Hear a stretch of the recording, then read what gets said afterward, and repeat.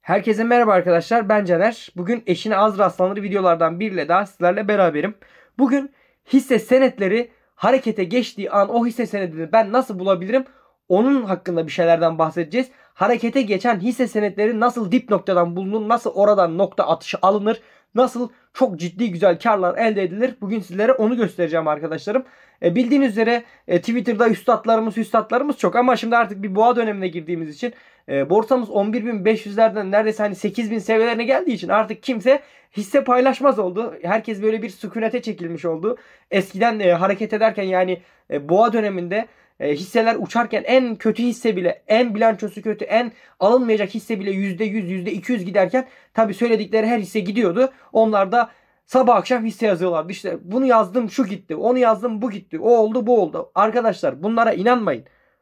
Siz bilgili olacaksınız ki bu bilginiz sayesinde hisse senetlerini alabileceksiniz ve aldığınız hisse senedini ben şuna göre aldım veya ben buna göre aldım diyerek içinizi rahatlatıp paranızı cebinize koyacaksınız arkadaşlarım. Yoksa Ahmet şu hisseyi söyledi, Mehmet bu hisseyi söyledi diye alırsanız siz çok yolda kalırsınız arkadaşlarım. Çok terste kalırsınız, çok iflas edersiniz. Ben size şu hisseyi alın, bu hisseyi alın demiyorum. Ben size bilgiyi sunuyorum ve bu bilgi eşliğinde çıkan hisse senetlerine bakabilirsiniz diyorum arkadaşlarım. Şimdi e, kanalıma bakacak olursanız arkadaşlarım kanalda birçok video var. Zaten işte tarama ile tavan hisselerini aradığımız bir video var. İşte mesela videolara gelelim arkadaşlar. Burada e, sıfır bilgi ile efsane kazançlar elde edebileceğiniz bir video var arkadaşlarım. Burada onu öğrettim. Kimseye muhtaç olmadan, kimsenin o işte paralı teknik analiz eğitimlerini, şunlarını bunları almadan kendiniz nasıl sıfır bilgi ile Trading View eğitim kısmını kullanarak ve oradaki fikirler kısmını kullanarak ciddi kazançlar elde edebilirsiniz. Onu paylaştım arkadaşlarım. Burada hacim uyumsuzluğunu paylaştım arkadaşlarım. Otomatik Fibonacci seviyesi bulan indikatörü paylaştım. Aşağı geliyorum. Yine önemli videoları e, sizlerle e, buluşturmak için söylüyorum. Mesela hacim trading'i paylaştım arkadaşlar ki bugünkü konumuzla hacim tradingle %90 bağlantılı zaten arkadaşlarım. İşte tahtacıların oyunlarını paylaştım. Manipülatör, spekülatör ve tahtacılar olan hisse senedini nasıl bulabileceğimizi paylaştım. E, geliyorum aşağı kısımlara bakıyorum. Hisseleri en dipten alma yöntemi diye farklı bir yöntem paylaşmışım arkadaşlar. Burada da tahtacıların veya balinaların maliyetine göre biz hisse senetlerini alıyorduk arkadaşlarım. Bu da çok inanılmaz bir videodur. Aşağı geliyorum bakıyorum. Formasyon bulan taramayı paylaşmıştım. Bir haftada kazandıran trading bir taraması e, işte %1390 yükselen hisse senedi nasıl bulunur ki burada bir dikdörtgen base e, formasyonuna e, at, atık bir video bu. Aşağılara iniyorum. Swing trading stratejileri 5, 8, 13 stratejileri işte geliyorum burada temeli tekniği güçlü hisse senetler taraması nasıl yapılarak bulunabilir? İşte e, otomatik destek direnç bulan seviyeler düşeni kıran tavan bulan e, taramalar şunlar bunlar. Yani birçok video var arkadaşlarım. Bakın iddia ediyorum. Bu videoları para ile alamazsınız. Yani bu videoların muadili videoları size 20 bin 30 bin liralardan eğitim diye satıyorlar. Ben burada ücretsiz şekilde sizlere bunu sunuyorum arkadaşlarım. Şimdi lafı çok uzattım biliyorum ve videomuza geçiyorum ama ondan önce de şunu rica ediyorum arkadaşlar. Lütfen e, bu videoyu beğenin. Kanala abone olup zil bildirimlerini de açın ki bu tarz gerçekten muadili az videoları sizlerle paylaşabileyim. Benim için de bir motivasyon olsun. Şimdi videomuza gelip bakacağımız zaman arkadaşlar burada hisse takipçisi var. Bildiğiniz üzere biz bu hisse takipçisini kullanarak arkadaşlarım e, belli kriterler girip belli taramalar sonucunda 568 hisse senedini filtreleyip kendi taramamıza uygun hisse senetlerini çıkarıp onlar üzerinden alış stratejileri oluşturuyorduk. Bugünkü stratejimiz şuna bağlı arkadaşlar. Biz diyoruz ki hisse senetleri harekete başladığı anda biz o hisse senetlerini yakalayalım. Peki düşünelim. Biz bu hisse senetlerinin hareketle başladığı anda nasıl yakalayabiliriz? Bu hareketin öncülü nedir? Bu hareketin öncülü hacimdir arkadaşlarım. Hacimin, paranın yani hacim eşittir para demektir benim için. Paranın girmediği hiçbir hisse senedi yükselmez. Bir hisse senedine bakarsınız çok yükselmiş alırsınız dibe düşer. O ama o hisse senedinin o yükselişine başladığı ana baktığınız zaman o hacim barını çok tepede görürsünüz diğer hacim barlarına göre. İşte biz bu yüksek hacimi yakalamaya çalışacağız. Nasıl yakalayacağız arkadaşlar? Geliyoruz burada piyasa verilerine giriyoruz arkadaşlar. Burada hacim değişimi var günlük. Filtreyi ekle diyoruz. Burada hacim değişimi günlük ne demek arkadaşlarım? Yani o gün diğer günlere göre ne kadar bir yükseliş olmuş onu hesaplayacağız. Şimdi gelip manuel kurulum yapıyoruz. Değer büyüktür. 1000 ile başlıyorum arkadaşlarım. 1000 ile başlıyorum. Uygula. Şimdi burada ne demeye çalıştım? Şunu demeye çalışıyorum arkadaşlarım. Bir önceki güne iki günü düşünelim. İlk gün hacmin bir olduğunu düşünelim. İkinci gün yüz, yüzde binden büyük dedim ya yani 10 kattan büyük. İlk gün 1 ise ikinci gün 10 olsun o hacim. Yani kendinden önceki günden 10 kat yüksek bir hacim yapmış olsun o hisse senedi. Bakıyoruz burada global menkul değerler. Hemen geliyoruz arkadaşlarım. Şurada yazıyoruz. Ee, global menkul aşağıda burada global menkul değerleri bulduk ve şöyle günlüğe baktığımız zaman arkadaşlarım şurada ne çıktı bakın. Kendinden önceki gün hacmi çok düşük ve sonraki gün 10 kattan fazla bir hacim yapmış arkadaşlarım. Ve bakıyoruz ortalama hacmi 800 civarlarındayken 800 küsuratı atıyorum. Burada son gün hacmi 3.89 milyon şeklinde ki hani bu küsuratı atıyorum bu aslında milyon değil de küsuratı atıyorum arkadaşlarım. Burada yani e, arasındaki farka baktığımız zaman neredeyse 4 katlık ortalamanın 4 katı yukarıda bir hacim oluşmuş. Şimdi biz bu hisse senedini gördük. Fakat şimdi bu bizim için güvenli bir alış stratejisi mi? Hayır güvenli bir alış stratejisi değil. Neden güvenli bir alış stratejisi değil? E, bir gün hacim oldu diye o hisse senedi hemen alınmalı mı? Hayır alınmamalı. Fakat mesela ben Hekinaşi'de kullanıyorum arkadaşlarım. Trendleri daha iyi yakalamak için. Haftalı aldığım zaman şunu görüyorum. Bakın hisse senedi bir düşüş trendindeydi. Şurada bir düşüş trendinde. Hatta şöyle bir çizeyim. Geleyim bakın. Burada çiziyorum. Şurada hisse senedimiz bir şurada çok şeylere riayet etmedim arkadaşlarım. Şöyle bir düşüş trendinin olduğunu görüyorsunuz. Yani aşağı yönlü bir hareket var. Ve bakın sayıyorum 1, 2, 3, 4, 5, 6, 7, 8, 9, 10, 11, 12, 13, 14, 15, 16, 17, 18, 19, 20, 21.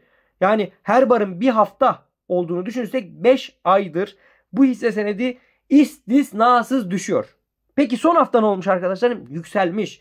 Peki hissenin geçmişine baktığımız zaman yükselişlerde o ilk barı yakaladıktan sonra bakın ne kadar elde ediyoruz arkadaşlarım. İlk barı saymıyorum. Bakın burada 14 günde %38 elde etmişiz arkadaşlarım. Şurada şuradan alayım. Şurada satayım. 14 günde yine %33 elde etmişiz arkadaşlarım.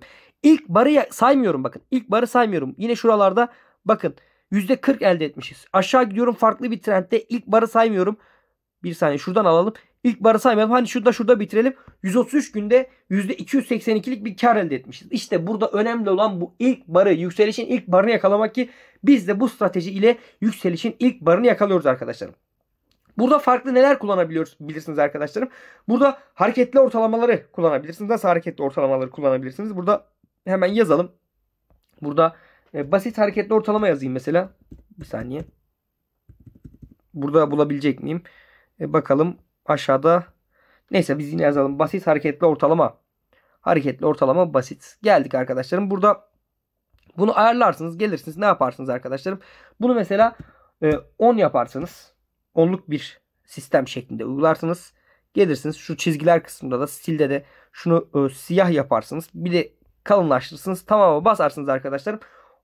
10 e, periyotluk basit hareketli ortalamayı da burada kullanabilirsiniz. Mesela 10 periyotluk basit hareketli ortalama üzerine attığı zaman gördüğünüz üzere hep yükseliş olmuş. Burada da e, eğer bu ilk bardan da emin olmayacaksanız 10 periyotluk basit hareketli ortalamayı kullanabilirsiniz. Bu da bir tekniktir arkadaşlarım. Bir diğer e, sisteme geçelim. Mesela bunu nereye kadar değiştirebiliriz arkadaşlar? Manuel kurumdan geliyorum.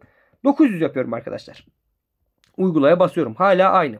Manuel kurulumdan geliyorum arkadaşlarım. Bunu 800 yapıyorum. Uygulaya basıyorum. Bakıyorum hala aynı. Düşürüyorum 700 yapıyorum. Yani 7 kat yükselmiş olsun diyorum. Kendinden önceki günden hala aynı. Manuel kuruluma geliyorum. E, 600 yapıyorum yani 6 kat yükselmiş olsun. Uygula hala aynı değil. Bir hisse senedi daha çıktı. Bir aşağı daha geliyorum arkadaşlarım. 500 yapıyorum mesela. Uygulaya basıyorum. 400 yapıyorum. 400'e bırakıyorum arkadaşlarım. 400'e bırakacağım. 4 kat benim için idealdir arkadaşlar. 4 katta bıraktığım zaman gördüğünüz gibi birçok hisse senedi çıktı. Akdeniz Yatırım Holding arkadaşlar. Akdeniz Yatırım Holding. Buna da bakalım. En aşağıda çıkmıştı. Akdeniz Yatırım e, Holding. Burada çıktı. Gördüğünüz gibi arkadaşlarım. Burada da yine çok inanılmaz bir düşüş yaşanmış arkadaşlarım. Gördüğünüz üzere neredeyse 2 aydır çok sert bir düşüş yaşamış. Hisse senedi 6 liralardan 2 liralara gelmiş. Burada Günlüğe dönüyorum hemen arkadaşlarım. Günlüğe baktığım zaman şunu görüyorum. İnanılmaz bir hacim oluşmuş. Yani kendisinin iki buçuk kadar e, ortalamanın iki buçuk kadar e, iki buçuk katı kadar üzerinde bir hacim oluşmuş. Ama mesela ben bu hisse senedinde şunu düşünüyorum şahsen. Yorumlar da yapabilmemiz lazım arkadaşlar. Bu hisse senedi çok sert bir şekilde düşmüş. Altıları görmüş zaten. E altıları kaçtan çıkmış? 1 liralardan çıkmış arkadaşlarım. Daha yeni 2024'ün başında bu hisse senedi 1-2 liraymış. E %300 %400 yapmış. E bu hisse senedi çok sert de çakılmış. E ben bu hisse senedinden mesela biraz daha yatay hareket bekleyebilirim. Yani bu tarz çıkarımları da yapmanız lazım arkadaşlarım. E, bakıyorum hacim de benim çok istediğim gibi değil. Yani iki kat yükselmiş. Kendisinden önceki gün çok düşükmüş diye. Hani ortalamanın üzerinde olmasına rağmen bizim e, 6 katlık hacim taramamızda çıkmış. Farklı bir hisse senedine bakalım arkadaşlar. Lilak. Lilak yine halka yeni arz olmuş hisse senetlerinden biri. E, Lilak şeklinde aratıyorum. Mesela geliyorum bakıyorum Lilak kağıt. Burada gördüğünüz gibi arkadaşlarım e, güzel uzun bir mum bar oluşmuş ve ortalama hacim dörtken hani şuradaki milyon kısmını okumuyorum dörtken 28 olmuş. Yani neredeyse arkadaşlarım 6-7 kat ortalama hacmin üstünde bir hareket olmuş. Ve bu hisse senedi arz olduğundan sonra inanılmaz düşmüş arkadaşlarım. İnanılmaz düşmüş. Şimdi haftalığa bakalım. Biliyorsunuz bizim haftalıktaki arayışımız şuydu. Biz haftalık mumbarının yeşil olmasını istiyoruz. Çünkü hekin aşı kullanıyoruz. Burada mesela e, az öncekinde şey dedim ya e, çok altılardan düşmüş işte bu biraz yataya bağlamalı. Bu hisse senedinde mesela aynı şeyi söyleyemeyebilirim. Niye söylemeyebilirim? Bu halka arzdan sonra düşmüş arkadaşlarım. Artık bir noktada ederi fiyatını bulmuş. Buralardan birileri toplamışsa da hisse senedi hızlıca gider diye bir çıkarım yapabilirim. Tabii ki bu çıkarımı bu hisse senedi için yapmıyorum. Genel olarak halka arz mantığı için yapıyorum arkadaşlarım. Burada da mesela hareketli ortalamayı kullanabiliriz. Diyebiliriz ki ya bu e, hareketli ortalamanın üzerine aldığı zaman e, bizim için güvenli bir alış stratejisi oluşturabilir. Şimdi farklı bir hisse senedine geliyorum arkadaşlar. Lüks SK.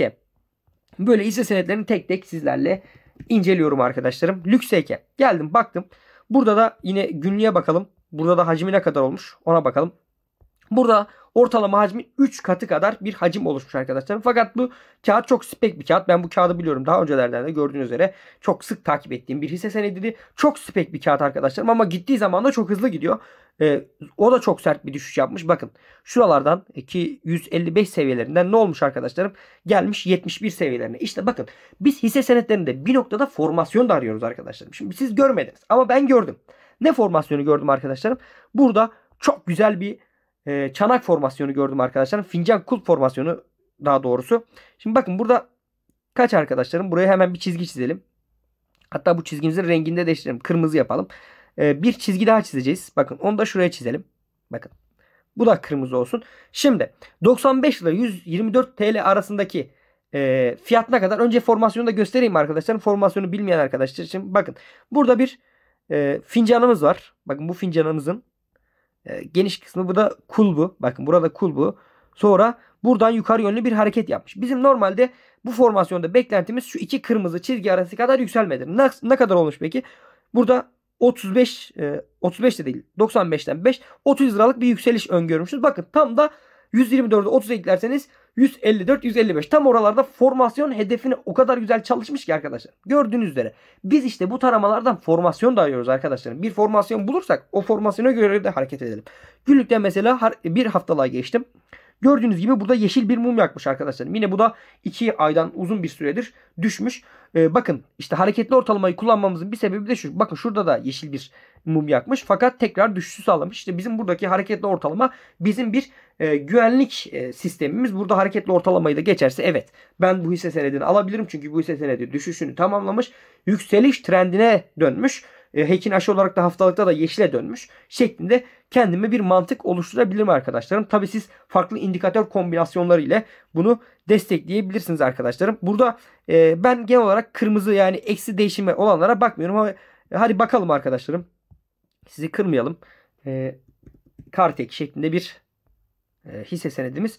Buna da baktığımız zaman bunda da zaten şunu görüyoruz. Bakın bir günlüğe bakalım. Burada bir e, hacim görüyoruz yine. Güzel bir hacim.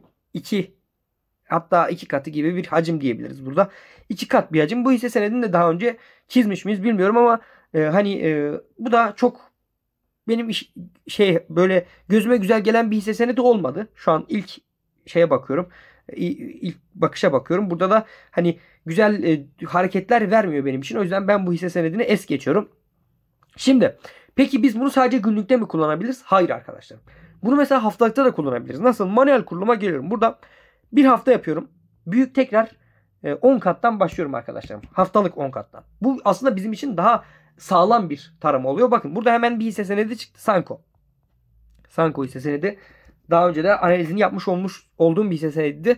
Bunu e, YouTube topluluk ve Instagram sayfamda paylaşmıştım. Bakalım olmuş mu? Evet. Bakın ya nokta atışı yine bir analiz yapmışız arkadaşlarım. Nokta atışı analiz. Bakın nokta atışı analiz nedir? Biz burada daha önce 25.96 seviyelerini e, güçlü bir direnç olarak nitelemiştik. Ki gördüğünüz üzere oraya bir fitil atmış oradan dönmüş. Bizim buradaki e, uzun vadeli hedefimiz 31 seviyelerdi. Çünkü zirve oraydı ama kısa vadede 25'e gider diyorduk arkadaşlarım. Biz bu hisse senedini herhalde 21'lerden paylaştık. %25'likte bir kar elde etmiş. Ee, orada da hani YouTube topluluk kısmını ve Instagram'ı takip ederseniz bu hisse senetlerini önceden görebilirsiniz arkadaşlarım. Bir haftalığa bakıyorum mesela burada. İşte bakın benim anlatmaya çalıştığım şey şu. Bakın haftalıkta bu hisse senedinin ortalama hacmi 3 iken 13'e çıkmış. Kaç kat arkadaşlarım? 4 kat. 4 katlık bir hacim artışı olmuş. Ve haftalıkta bu hacim artışları bizim için inanılmaz güvenli şeyler. Bakın burada tabii ki hareketli ortalamayı da e, kullanacağız. Şurada bakın mesela ne olmuş? Buradan hareketli ortalamanın üzerine attığı zaman arkadaşlarım 21 günde %60'lık bir yükseliş vermiş. Veya şurada hareketli ortalamanın üzerine attığı zaman arkadaşlarım bakın en zirve noktayı alıyorum. 35 günde %67'lik bir yükseliş vermiş. Yani bir ayda %50-60'lık yükseliş size hiçbir finansal enstrüman vermez. En azından şu piyasada vermez. Şimdi geliyorum arkadaşlarım diğer hisse senedine de bakalım. Burada da bu ara analiz 10 numara çalışmış. Ee, bir diğer hissemiz ise Bakap arkadaşlarım. Bunun e, analizini yapmış mıydım hatırlamıyorum. Bakap gelip bakalım. Burada da hisse senedi gördüğünüz üzere arkadaşlarım ortalama birken 8'e çıkmış. Yani 8 katlık bir yükseliş 8 e, katlık bir ortalama hacimden yüksek hacim oluşmuş. İnanılmaz bir hacim. Hacim ne demektir arkadaşlarım? Hacim para girişi demektir. Hacim para girişi demektir. Bakın burada hareketli ortalamanın üzerine attığı zaman biz bu hisse senedi için ne hedefler biçebiliriz? Mesela deriz ki bu hisse senedi eski zirvelerine gelebilir. Mesela eski zirveleri nedir? 55'lere gelir işte. Şu an kaç seviyelerinde? 34 seviyelerinden 55'lere kadar çıkabilir gibi kendi içimizde analizler yapabiliriz arkadaşlarım. Düşünebiliriz. Burada da e, tekrar 400'e kadar inelim arkadaşlarım. Gelelim mesela burada e, 800 yapalım. Farklı bir hisse senedi gelecek mi? Gelmedi. Manuel kurumdan e, geliyoruz. 700 yapıyoruz mesela. Uygulaya basıyorum. Yine gelmedi. Buradan değiştiriyorum mesela 600 yapıyorum. Uygula diyorum. Bir hissemiz geldi. 500'e inelim. 400'e de inelim arkadaşlar. 500'e geldim. Uygulaya bastım. Birkaç hisse senedi geldi. 400'e de ineyim bakayım. 400'e de indim. 7 tane hisse senedi oldu. 400'e de inmeyeyim arkadaşlar. 500'de kalsın. Burada da 500'e kadar inmiş olalım. Ama %400-500 bizim için idealdir. Onu da söyleyeyim arkadaşlarım. Burada BEF e, şey gelmiş arkadaşlarım. Boş fren gelmiş. Hemen ona da bakalım. Onu da e, analiz etmiş olalım. Gerçekten bir yükseliş var mı? Bakın hacim e, 4 e, hani buna e, kaç katı diyebiliriz? Buna 4 katı bir yükseliş var burada. Gördüğünüz gibi bir düşüş trendinden sonra arkadaşlarım bakın. Düşüş trendini şurada görüyorsunuz. Burada bir düşüş trendimiz var. Bu düşüş trendimizi bir noktada kırmış ve çok inanılmaz bir hacim oluşturmuş o hafta ve çok güzel uzunca bir mum yakmış arkadaşlarım. Ve bu uzun mumlar genelde bizim için güvenilir olur arkadaşlarım. Bakın burada da mesela uzun mum yakmış. Şuradan hareketli ortalamanın üzerinden aldığımızı düşünürseniz 14 günde %80'e yakın bir kazanç elde ettirmiş. Bakın şurada yine uzun mumdan yukarı aldığınız zaman 21 günde hani yukarı verdiğimiz zaman neredeyse %40-45'lik bir kar elde etmiş oluyoruz arkadaşlarım. Yine şu aşağıyı da hesap edelim. Bakın burada yine o ilk mumu yakaladıktan sonra kaç almışız? 56 günde %100 yani 56 günde paramızı ikiye katlamış oluyoruz. Bu da e, bu taramanın güzel yönlerinden bir tanesi arkadaşlarım. Yine farklı bir şey bakalım. E, neye bakalım arkadaşlarım? Atex'e bakalım. Sonra Patek'e bakalım. Kapatalım arkadaşlar. Şöyle Atex diyelim. Evet. Akın Tekstil. Akın Tekstil'de de e, şunu görüyorum. Akın Tekstil'de burada da bir e, formasyonumuz vardı. E, isterseniz buna fincan kulp formasyonu deyin arkadaşlarım. İsterseniz ikili dip formasyonu deyin. Bu formasyon hedefine kadar gitmiş mi bakıyoruz arkadaşlar. Evet bu formasyon hedefine kadar gitmiş. Şuralara kadar gitmiş. Oraların biraz da üzerine çıkmış düşmüş. Fakat Burada hisse senedi e, zirveye yakın bir yerde yataya bağlamış. Mesela ben düşünüyorum ha bu bizim için e, daha az e, alınabilecek bir hisse senedi. Neden daha az alınabilecek? E, diğer hisse senetleri e, düşüş trendinden sonra yeşil yakmıştı. Hani o e, bayağı bir düşmüştü. Artık o seviyeler bir dip noktası diyebileceğimiz seviyeler. Burada hala yatayda hareket ediyor. Yatayda e, git geliyor. Bu mesela benim için çok güvenilir olmayan bir hisse senedi diyebilirim. Geldim Patek yazdım arkadaşlarım mesela. Ee, bakalım. Burada e, Pasifik Teknoloji. Şimdi bu hisse senedine baktığım zaman da şunu görüyorum arkadaşlarım. Yine yeni halka arz olmuş hisse senetlerinden bir tanesi diyebilirim. Burada çok ciddi yükselişler yapmış. 40 liralardan 180 liralara, 200 liralara kadar gitmiş arkadaşlarım. Hani 4-5 kat gitmiş sonra düşmüş de düşmüş. Tekrar bir yataya bağlama süreci var. Fakat günlüğe baktığımız zaman şunu görüyoruz. Bakın. Burada ne görüyorsunuz arkadaşlarım? Ben burada çok bariz bir ikili dip görüyorum. Hemen şöyle alalım. Bakın. Şuradan çizelim bakın. Şuradan çizdiğimi varsayıyoruz. Buradan çizdiğimi varsayıyoruz. Ne olacak arkadaşlar? Eğer mesela biz bu tarama sonrasında bu yüksek hacmi de şurada görüyorsunuz. Bakın. Onu da hemen çizeyim sizlere. Şurada bakın. Pardon. Şunu biraz yukarı çıkarayım.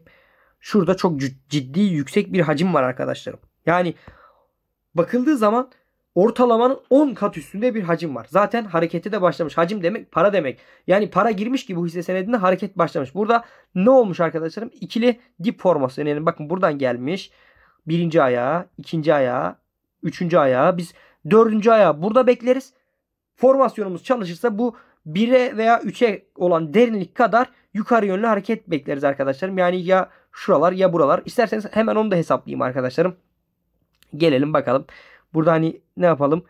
Bir buradan buraya çekelim. Bunu klonlayalım arkadaşlarım. Hatta bunu sildik. Mesafeye bakalım. Mesafe 95'miş. Geliyorum yine bir dik çizgi çizeceğim şu noktadan. Olmadı. Bir saniye tam noktasına. Neyse tam buradan alalım. Kaç oldu mesela burası? Dikte olmasını istiyorum.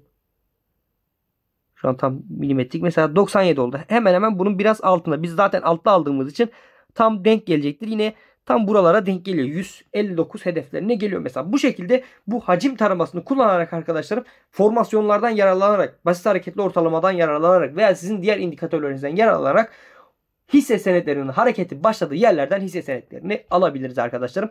Bugünlük anlatacaklarım da bu kadardı. Umarım bu video sizin için yararlı olmuştur arkadaşlarım. Sizden ricam lütfen bu videoyu paylaşın, kanala abone olun, beğenin ki benim için bir motivasyon olsun. Bu tarz videoları çekmeye devam edeyim arkadaşlarım. Hepinize iyi günler diliyorum.